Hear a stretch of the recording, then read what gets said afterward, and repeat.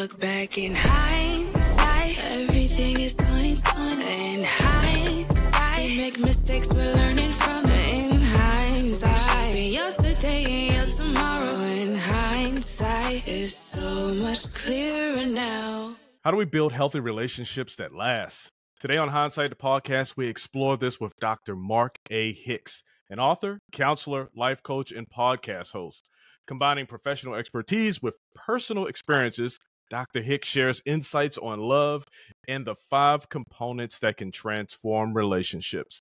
Hey, good morning. How you doing today, Doctor? Doing great. Thank you for having me. Should I call you Doctor Hicks? Just Mark? call me Mark. Just call me Mark. Mark. I, I, I, actually that. use that. I use that formal title because my books are on Amazon, and there's more than one Mark Hicks on Amazon. So uh, if you're looking for me there, you look, you look for Doctor Mark A. Hicks. Otherwise, just call me Mark. All right, my man, my man. Good morning, Mark. How you doing? I'm doing great.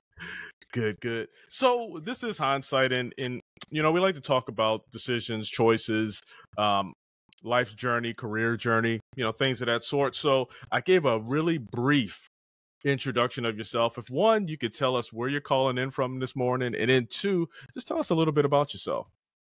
I'm calling in from Knoxville, Tennessee. You might be able to guess that from my accent. I'm originally from Knoxville and as you mentioned, I'm an author and a counselor and a, a, relationship specialist, and give myself that particular title because I did write the book about relationships.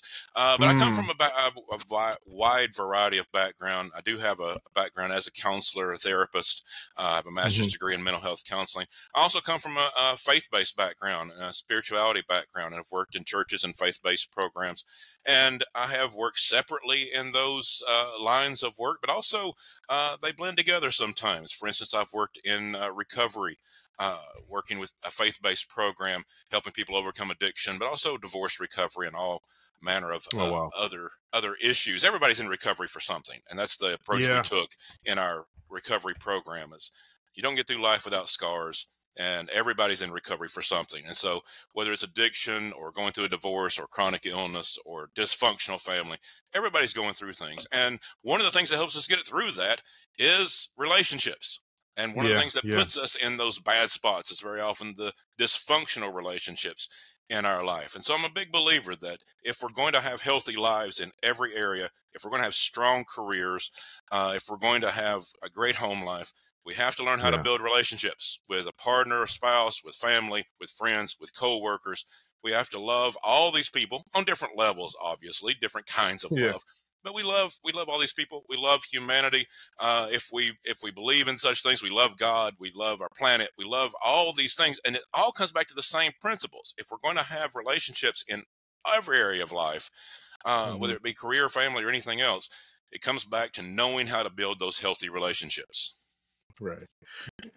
So did this this life's journey of yours of love did that start at an early age or was there something that kind of influenced you to change direction a little bit right?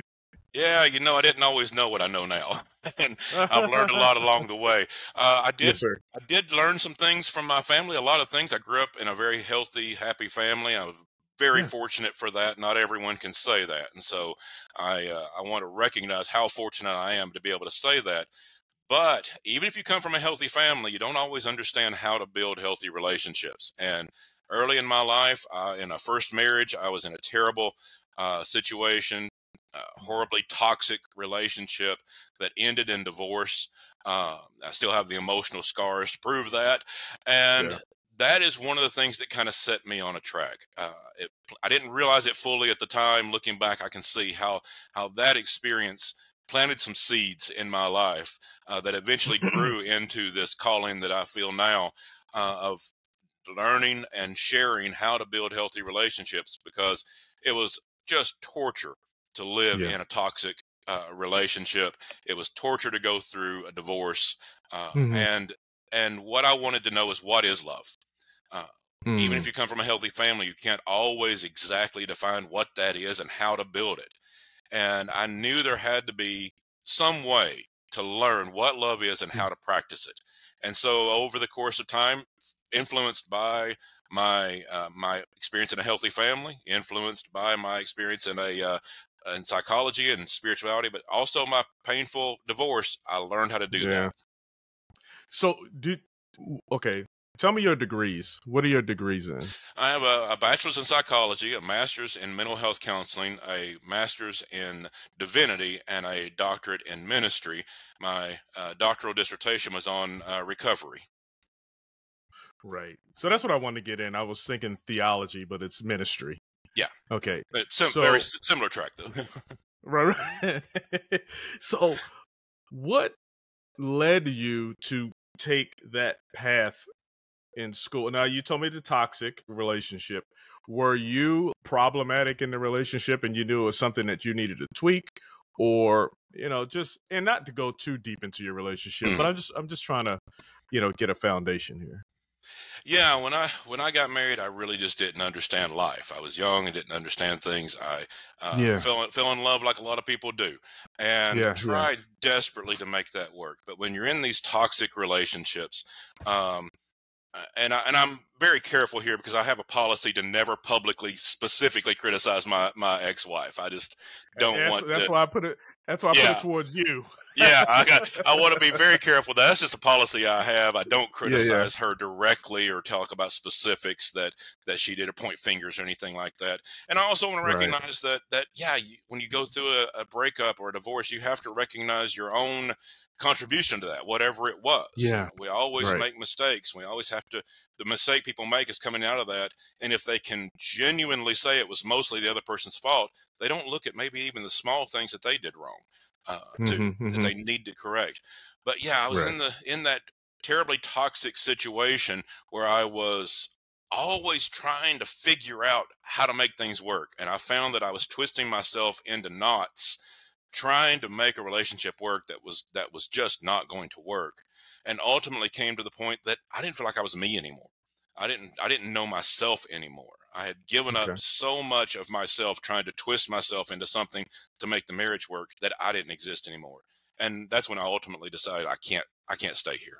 So what jobs have you had um growing up? Did you did you have normal jobs like a kid and then you progressed as you went through school? Like what kind of jobs did you have? Yeah, as a kid, I, I, did kind of the normal things. I uh, worked in a couple of retail stores, sweeping floors and waiting on customers and washing windows and doing those kind of things. A couple of local retail stores in a small town where I grew up. Uh, was a lifeguard uh, in the summer. Oh wow. Uh, that was a pretty cool job. I enjoyed that. wasn't a lot. Uh, yeah. and so yeah, just kind of normal normal stuff growing up. Uh, once I became a professional, I've worked in Mhm. a lot of different things. I've worked as a minister. I've been an international missionary. I've been a, a professional uh, therapist in hospitals and in clinics and things of that nature. Uh, Mhm. And and then I did a number of things within that. I've uh, because of those Okay. jobs, I was able to, uh, as I said, run a uh, I led a recovery program. I've been a disaster response coordinator. Uh, I've Wow. been a radio host in the Czech Republic. Had a nationwide radio show in the Czech Republic. Um, and it was an English speaking show, though. I only speak a tiny bit of Czech. What, what- hold on. All right. I didn't see that one. What did you talk about in the Czech Republic? Love, obviously, right? Well, I did, But- did self help stuff. It was a general self help Okay. show talking about you know Uh-huh. how to deal with difficult people at work, how to how to build a better family life, just all the different uh, self help kind of uh, mental health and wellness theme show. And so Yeah. it was a weekly show I had uh, in the Czech Republic, aired in one of the largest uh, radio stations there, and it was a, it was a lot of fun. That's pretty cool. Hey, so so you've worked in a lot of different jobs. Most of them in with the with the intent to help people, right? That's what I'm Absolutely, kind yeah. of gathering. Yeah, you're absolutely right. That's always been kind of the theme of my life is you know what can I do to try to make the world a little better place. So what in transitioning between the different jobs when you became career oriented, um, what were some of the bigger challenges that you had to overcome? Czech Republic, maybe uh, I, I don't know why you were in the Czech Republic, uh, but you know what were some of your challenges and hurdles that you had to overcome as you you know made your way to where you are right now? Yeah, you know, there's there's all of these situations. I basically have always just said yes. Uh, someone asked me one time, "How did how did you do all of these different things?" I said, "I have no idea. I'm like Forrest Gump. I just wander aimlessly and stuff happens." Uh, but I think if you're willing to say yes to things and just try, uh, that a lot of doors open up. and I've always kind of had that policy of let's see what happens. And it wasn't Yeah. always easy. Uh, yeah, moving to the Czech Republic was one of the best things I've ever done and one of the hardest things I've ever done. It was extraordinarily difficult, uh, much more Mhm. than I thought. Uh, living in a uh, uh, uh, a different country, being being an immigrant there is so difficult. The bureaucracy is so different. It's bad enough bureaucracy that we have here uh, with what we do, but the bureaucracy in the Czech Republic is enormously difficult. And so there's a lot of struggles. And yet, I was living in Prague, one of the most beautiful cities in the world, and just being Mhm. able to to see the culture there in Europe was an amazing thing. So I think if you say yes to life, things tend to happen, but there's always Right. challenges with it. It's always hard. Uh, the the when I retell it, yeah, it sounds pretty fun, and it was. But it's uh, all these things are always difficult too. God, life will give you good and bad at the same Right. time. You never get Yeah, to a yeah, place yeah, where it's yeah. always good or always bad. There's always going to be a little bit of both, and probably a lot of both. And as long as you're willing to deal with the good and the bad, there's a lot of things to do out there. Yeah, and that was that was what I was trying to get to. You know, a lot of times we say, "Hey, I did this career and I, and I jumped to this and I jumped to that," and it seems so linear and it seems so seems maybe simplistic in the storytelling, right? But there are a lot of hurdles and a lot of things that we had to overcome. And part of the part of hindsight is just taking a look back, maybe giving some some inspiration on some lessons that you've learned, you know, during those transitional per, you know Mhm. periods in your life. So, Yeah. um, if you if you don't mind, Yeah. right. What led you to go to the Czech Republic? Uh, it was an opportunity I had. I was uh, had a uh, knew the guy over there, kind of not well, but I knew of him. I had done Right. a lot of work in other countries in uh, uh, in mission work and different humanitarian projects, and so I had a lot of experience. And so I knew of him. So I called him one day and I said, you know, I'm I've got all this experience working in other countries. Uh, if I can help you, you know, let me mm-hmm. know. I'm, I'm just here to help. I know you've got a big challenge over there, so if I can be of help, you know, I would just like to like to offer my services. What I Yeah. didn't know when I called and and offered him that is that he was planning to leave that job and was actively looking for a replacement Oh, for gotcha, himself. I had no Right. idea. And so Right, right. he literally got off the phone and turned to his wife and he said, I just talked to the person who's going to take my job. I know that's right. And he was so thrilled. And Yeah. weeks go by, and I start getting calls from other people saying, you know, we're looking for someone to uh, take his place in that job in the Czech Republic. Would you be interested in it? Right. Yeah, yeah, why not? so, because I did have experience in other countries, and so I'd never had a long term uh, placement in in uh, another country. So I thought, you know, I've Mhm, got all this mhm. experience. Maybe I can do a long term job there. And so it, that was just one of those things, and that's what I've seen in my life, doing all these different things. I didn't set out to do most of it; it just sort of worked. Uh, doors Right. opened, and you say yes to right. If if you were talking to someone and they say, "Hey, hey, Mark, I'm getting ready to go and move over to another country," Mhm, what would some insights be? You said you lived in multiple countries for different Mhm. reasons, right? mhm. Uh, what bit of advice would you give someone? it costs a lot of money, but spend the money to get professional people to do your immigration paperwork and visa.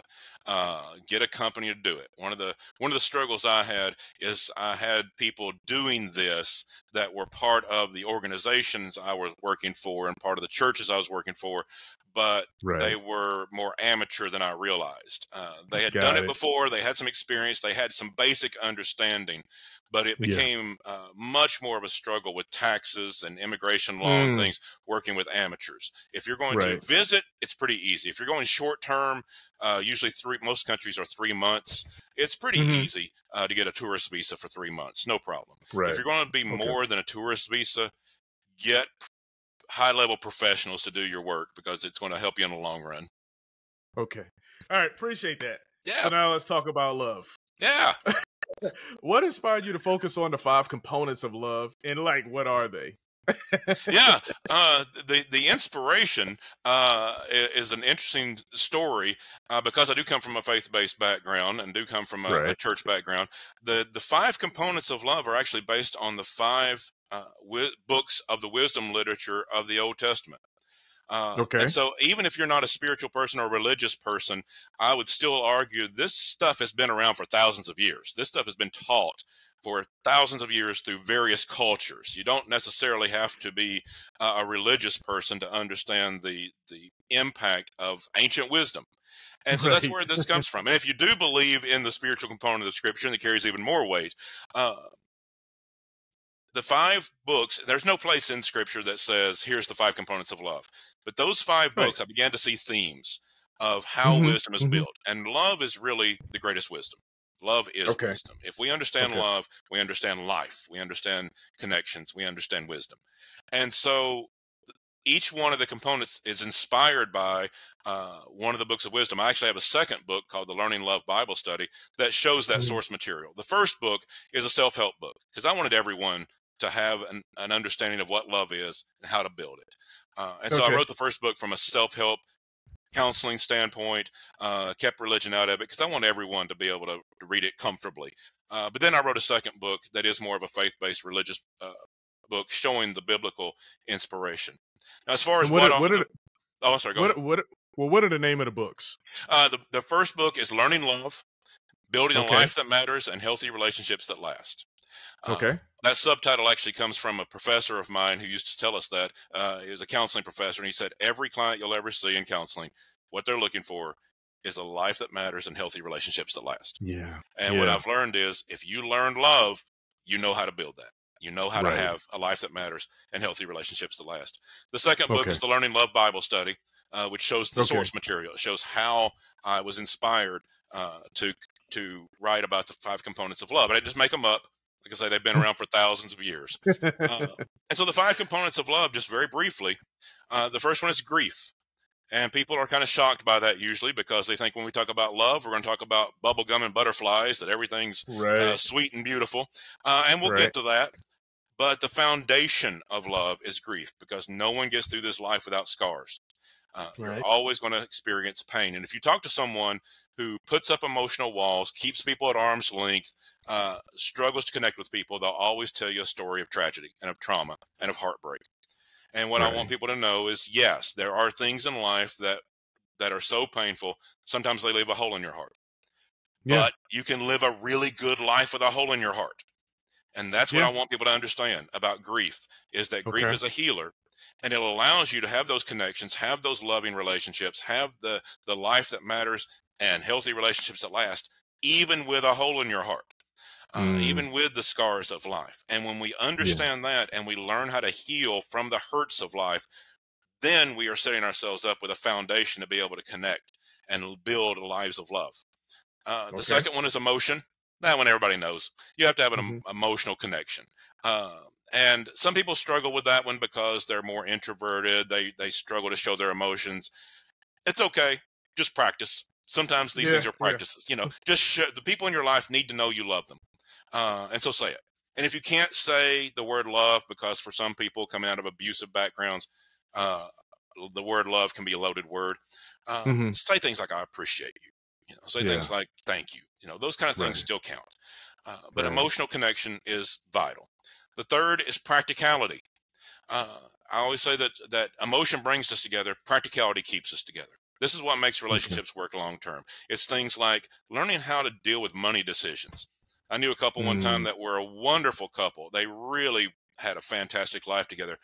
But because he had a, a spending addiction and mm. what could not manage money and was driving them into uh, into all kinds of financial distress and then lying about it, you know, hiding loans and things he was getting, high interest loans he was getting, uh, it destroyed their relationship. Uh, right. You have to manage money dealing with mental health issues that's a practical mm-hmm. matter they're treatable yeah uh, things like depression anxiety those take a toll on relationships get treatment communication mm. skills is a skill and so get treatment yeah. uh, or, or you know get get help in learning if you need to learn communication skills those are practical matters that keep us together in our love in our emotional connections okay the fourth is acceptance and of course, mm-hmm. it goes without saying we have to accept people in our lives. They're not going to be perfect. Uh, they're going to make mistakes. We have to have a certain level of acceptance of people. But it really comes okay. down to accepting ourselves. Brene mm-hmm. Brown did some great work on this, uh, wrote on this beautifully, that you really can't love people more than you love yourself. You have to accept yourself first. Yeah. Love yeah. is not a commodity like money. If you need money, you can go get a second job. You can get a loan. You can steal Right. it. I don't recommend that one, but you, you know, there are theoretical ways you can get money uh, in a lot Right, of different right. ways, right or wrong. But love is organic. Love grows. It is something that Yeah. grows in us, and you can't give away more than you've grown within yourself. So, that however you love and accept yourself is going to be your ceiling. You cannot love your Mm. spouse, your children, uh, your family, your neighbors more than you love yourself. You have to start there. And then finally, uh, the fifth one is passion. And when we use the word passion, we often think about uh, intimacy and things like that. That's and that's part of it, certainly. But really talking about a passion for life. The, that's the wind in our sails. Don't forget to Mhm. have fun. Uh, we sometimes take life very seriously, and there's reasons to do that. That's why we have practicality. Uh, there are Mhm. s- tragedies in life. That's why we have grief. We're not forgetting those things. But don't Right. forget to have fun. Have passion enjoy your life and enjoy the people you're with. Enjoy your your spouse your children your family your coworkers your friends. Really enjoy these people as much as possible and keep the passion in your life. That's what gets us up in the morning uh, ready to Yeah. face the day is we have a we have that passion for life and for the people in our life and life can get to be routine that practical element can get to be hard the grief is certainly difficult and we can forget that last and very important element uh, the component of, lo- of love that is passion. If you Right. learn and practice all five of those, you Mhm. can build healthy relationships, even if you come from a dysfunctional background, even if you've been through a divorce. You learn and practice the five components of love, which I said have been taught for thousands of years. Yeah. You can, you can build relationships, even if you've not had healthy relationships in the past. Right. Wow. All right, and it's pretty impactful that you start off with grief. Um, I was sitting there writing down notes. If you're wondering what I was doing, Yeah. uh, going through those five components. You've been to a lot of countries. You've been doing uh, missionary work, maybe Yes. in some of them. Yes. Self help. You, you did uh, radio shows in the Czech. Um, Mm-hmm. Were you always focusing in on these five components? And even if you weren't, could you share a, like a success story where these components made a significant difference in someone's life that you touched?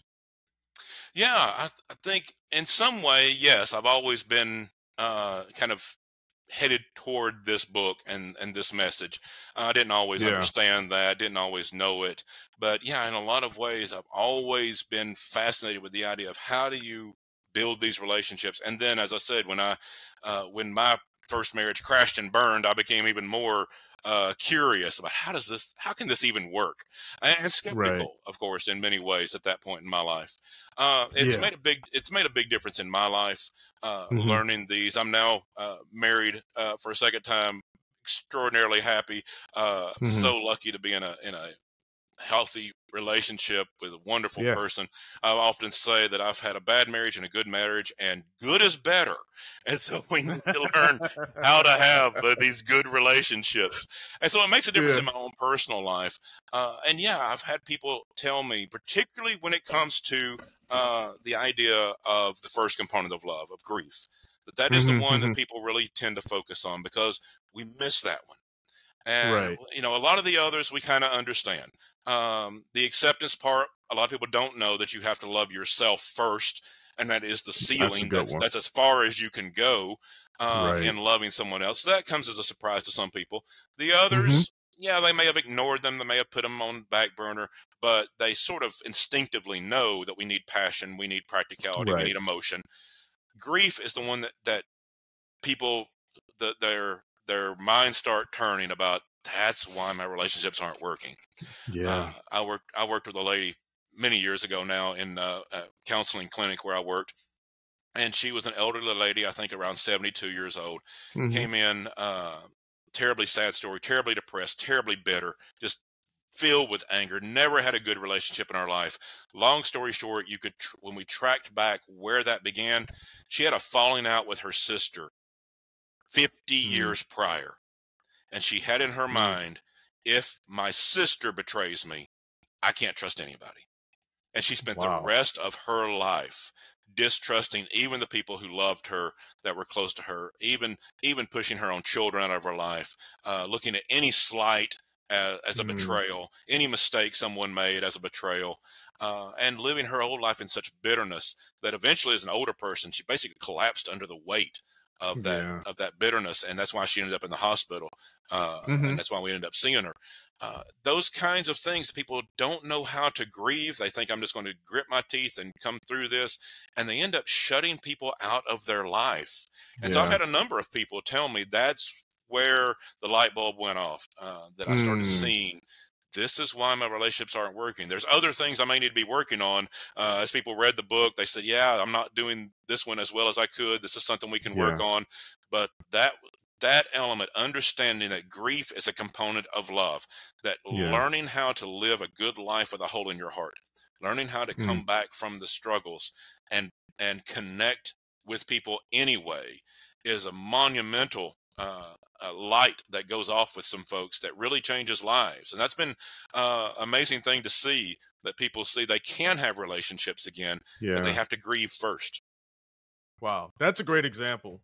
That is a really, really good example, and I, I appreciate you sharing that one. yeah So, her, her the light bulb came on.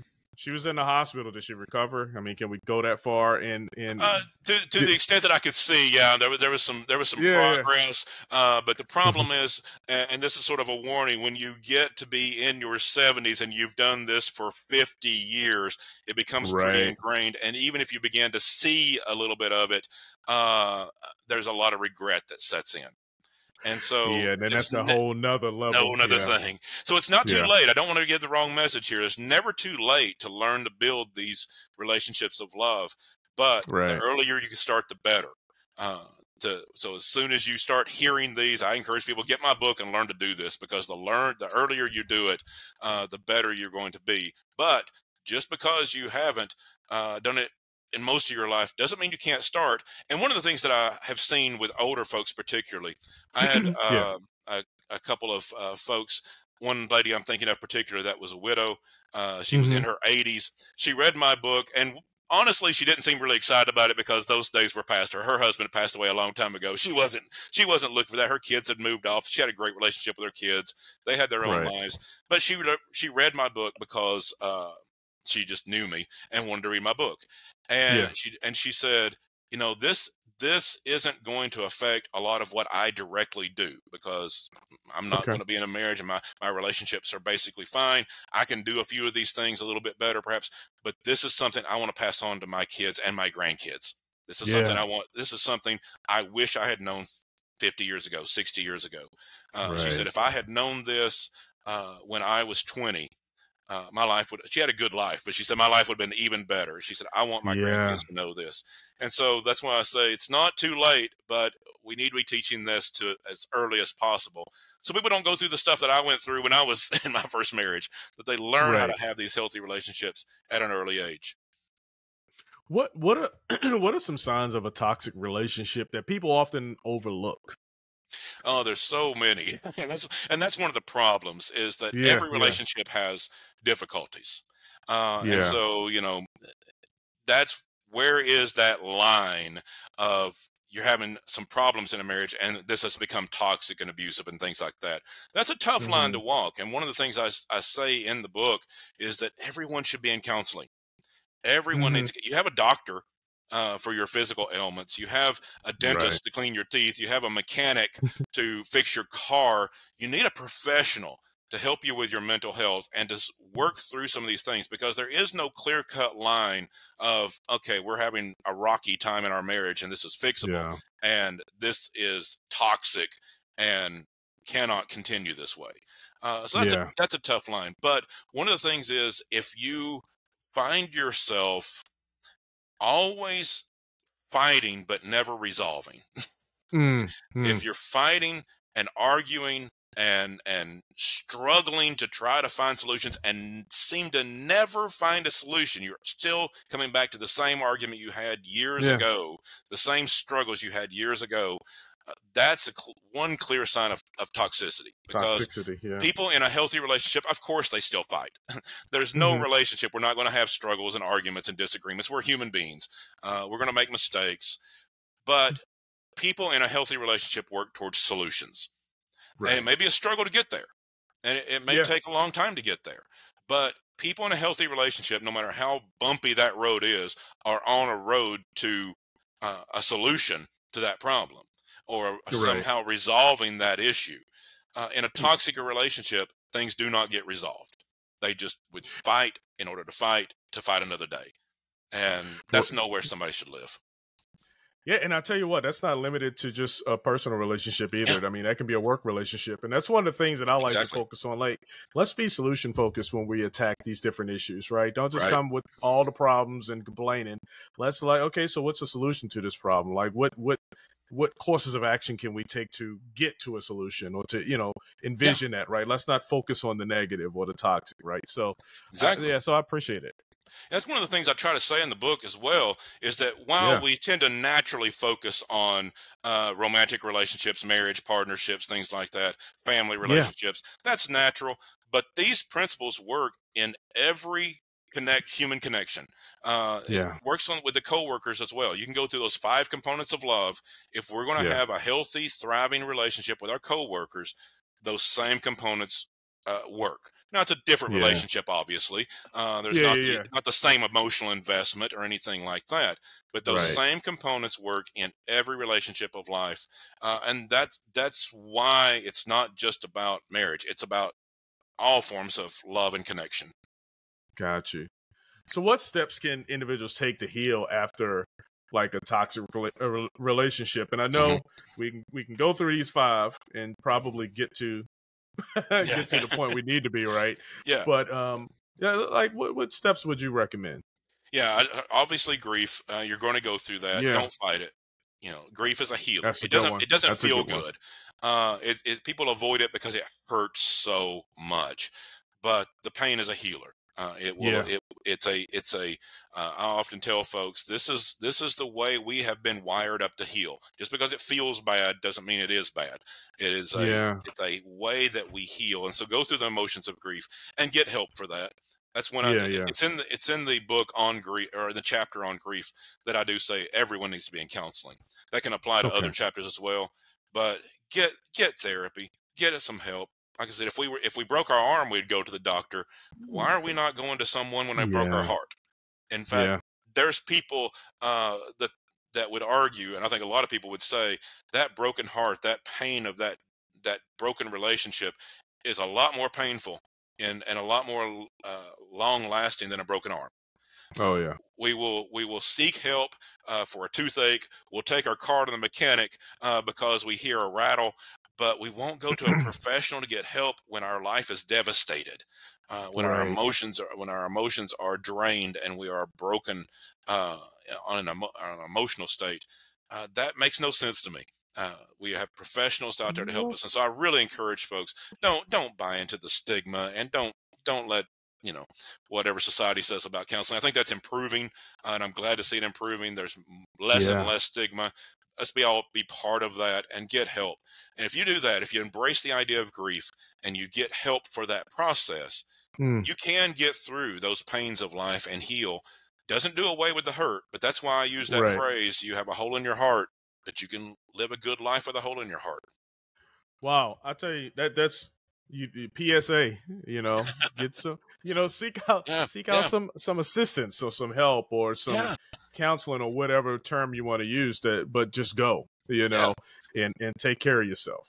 Yeah, think how absurd it would be if if uh, you had the opportunity to go to a mechanic and you said, "No, I'm going to fix it myself," even though you had no idea how to fix your car. I mean, that would we would end up in a great big mess.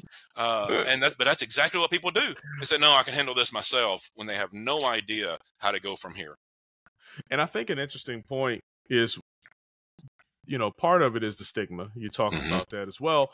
Two, you know, when you go to the doctor with a broken arm, that they are the people to fix your arm, right? And it will get better. But when Yeah. you start dealing with relationships, when you start dealing with heartache and things like that, Yeah. you don't really always know where to go or how to fix it, or you believe that you can do it yourself. I can work through these five steps on my own and I don't need Right. anybody, any assistance, right? Right. And so it, it really becomes difficult. And that's why I said, here's a PSA like, go out and seek that assistance, seek that help, because that's, you know, nine times out of 10, the answer, because you got to get the right person, right? To, to help you out with that. And I think that's a fair point. Uh, that it is Mhm. more complicated in counseling than going to the doctor for a broken arm.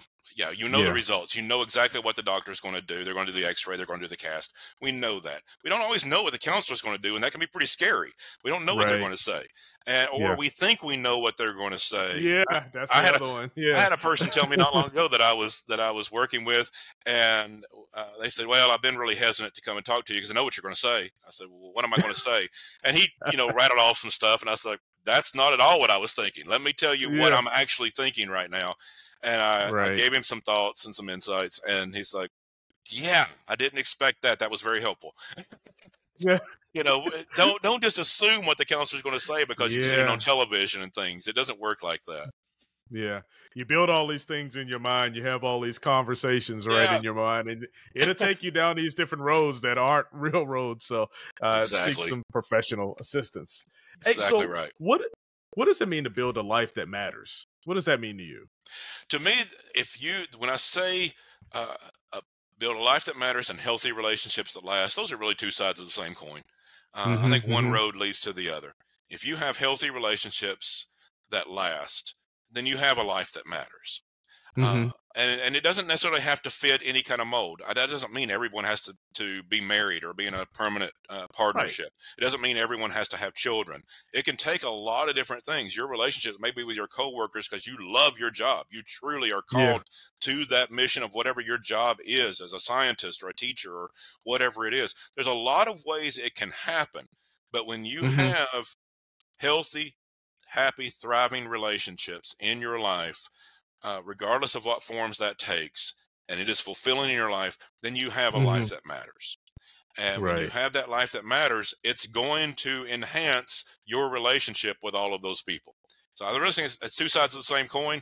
Uh, it, it both roads lead the same direction, and uh, you have one because you have the other. All right, you answered my next question. So I'm gonna, I'm gonna say, how do healthy relationships contribute to fulfilling, uh, to a fulfilling life and career? So, uh, yeah, it, it, you- it- one leads to the other, and so healthy relationships, I think, are are how we have all of that. You have that thriving career, you have the beautiful family, you have the life Yeah. you want because you know how to build relationships and even come back from the ones that are broken in order to build new ones. It's funny how you, you know, and I've been through both, where you go to go to work and you're like, oh, you're dreading, Yeah. going to work, Yeah. because of one person maybe, or Yeah. because it's not fulfilling, whatever it is, right? But usually it's dealing with the relationships, and then on the other side, you can have this where you look forward to go to work. Yeah. Right. You're happy to see the people that you're working with, right? Because you've developed that strong and lasting relationship with them. You're happy to go home. You're not going to the bar at the end of the day, right? Right, Because exactly. you're dreading going home because you built that strong relationship. Yep. So that's that's pretty awesome. Go ahead. That- No, exactly right. Yeah, you, you when you have those relationships, you want to go to work and work with those people and accomplish whatever it is you do uh, alongside Mm-hmm. the people you work with, and then you're excited to go home because you get to see your family and people you Yeah. love, and and yeah, it's just it is a horrible uh, existence to get up in the Mm-hmm. morning and think that you have to dread your entire day, and people Oh, do yeah. that. People do that. Yeah. Uh, they, Oh, dread, yeah. they dread their job. They dread seeing their family. They dread what they have in their face. And there is that's not a way to live. And that's Yeah. why we do need to get help. We do need to learn to build healthy relationships. And one of the practical realities, the third component of love, is some relationships have to end. That's a practical Mm. reality. It's not easy. That's why we have grief. Yeah. Uh, Right. don't say that lightly. Don't just end it because somebody made a mistake or there was a problem. Uh, things can be Right. fixed. But one of the practical realities is some jobs need to be left. Some relationships Yeah. need to be left uh, Yeah. in order to build those thriving ones, to give yourself an opportunity to find thriving relationships, thriving jobs, thriving Hmm. uh, mission in life. And Right. that's the way people should live. That people should always want that life that matters and the healthy relationships that last. And that comes through relationships. So look, can you share a pivotal moment in your journey uh, that reinforced the importance of meaningful relationships? Yeah, uh, I think as I left some of the uh, the organizations that I've worked for in the past and ventured Yeah. into this this adventure I'm on now of being an author and a ghostwriter and a speaker, uh, that is a whole new adventure. I'd always worked with either churches or organizations or nonprofits or someone, uh, Right. and now uh, at this point in my life, uh, I'm self-employed. I'm out here on my Nice. own with this message, and having not having a company or an organization with me, I'm out here just with the people in my life. And Mm. that reinforces even more the support that I have from my wife and my family and, and people and friends and people around me uh, that are encouraging when I'm in this new adventure with this message, trying to, to help people, but I don't have a, a company I'm working for. Uh, I don't have that, that, uh, that standard paycheck that, that a company Right. brings or anything like that. I'm out there Yeah. on my own, but it's a mission I believe in. And so when you're doing Right. that, uh, the, the people in your life, it really shows how much you uh, need and value that support. I like it. I was reading the um the the uh, the Alchemist, hmm and they talked about the young guy who was on, you know, trying to get to your personal legend, right? Yeah. And ju- just listening to you, you know what I mean? It's like Yeah. you're on your personal legend now, Yeah. and uh, and and you're following your passion to help people in your way, Yeah. right? In the way that you were supposed to be doing it. So that's that's pretty cool. Yeah, I think I've prepared a long time to to Yeah. share share this message uh, that I Yeah. think can change lives. And so, yeah, it's a it's a big adventure. It's a lot of fun, a little scary, Yeah. uh, but that's that's why relationships around you are always so important. So, what advice would you give to someone struggling to find purpose and meaning in their life? Because you've found your purpose and your meaning Mhm. right now. Yeah. Um, let's say I'm struggling and I just don't, I don't have purpose or meaning. What would you tell me?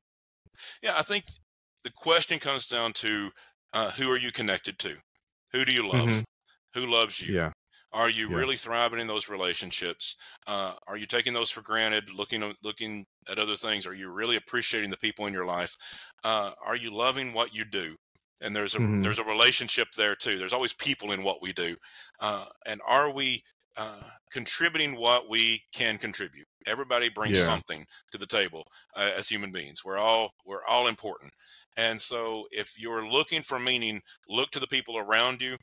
Um, and and you're going to find one of two things. You're going to find people that really support you, um, or you're going to find people that are draining you, uh, Yeah. and and keeping you from that purpose. And Mm. that's going to be that's going to be some decisions to make. That's why Yeah. we need to understand what love is and how to live it out.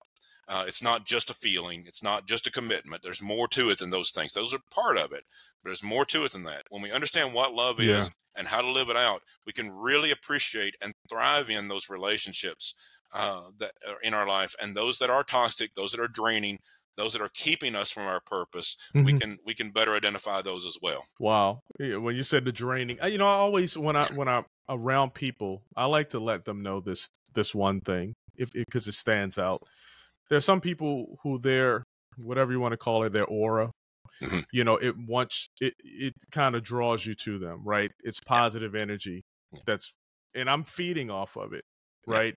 But then I try to infuse some more positive energy, right? So that there's a you know, there's a, a give and a take in this whole thing. But what I warn people of is a lot of people are going to bring that negative energy, hmm right, to your positive aura as well. And they're going to feed off of you and they're going to drain you of your positivity. And just be mindful of that. You know, be Exactly. mindful of that.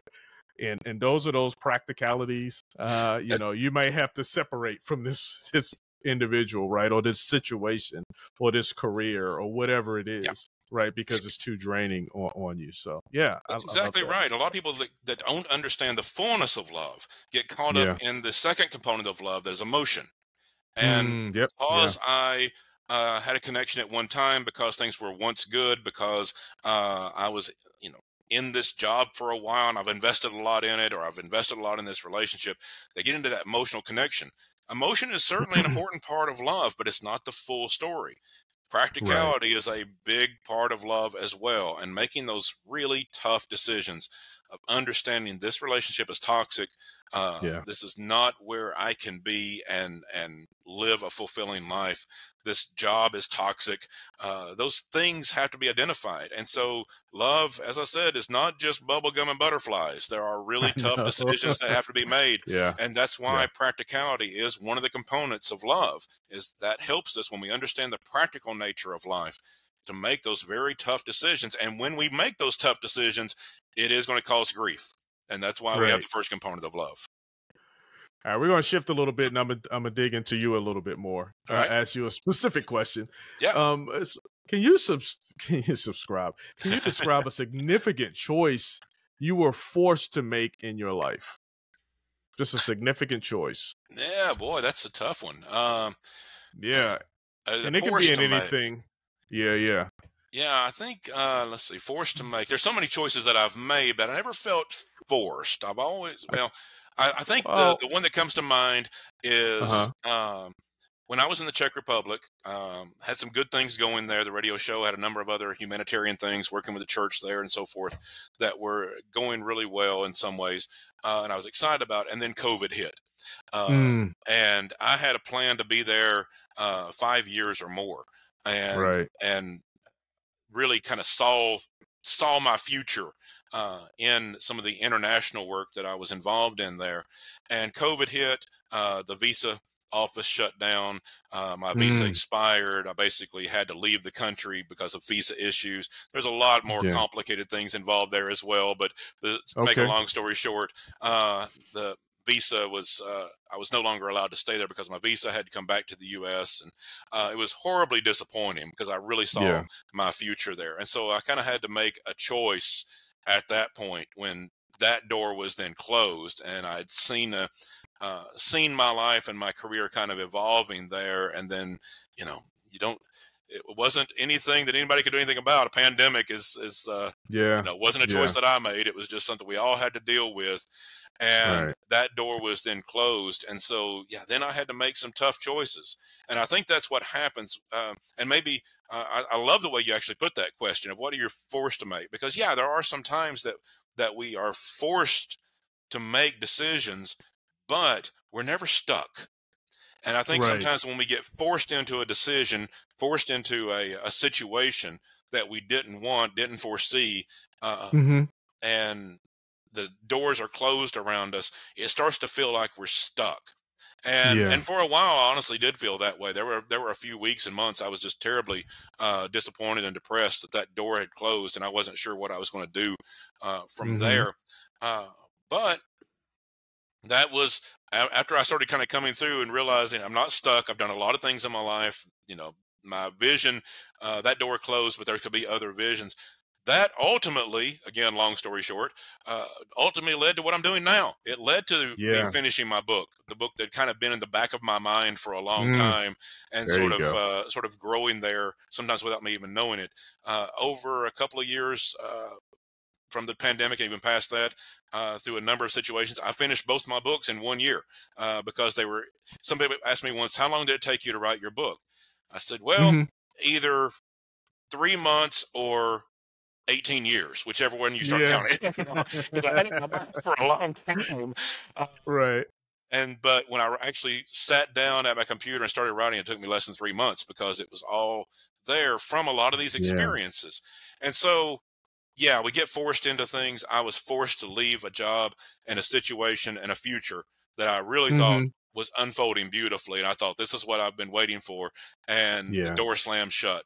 But we're not Right. stuck. You're never stuck, even when you're forced to make a choice you don't want to make.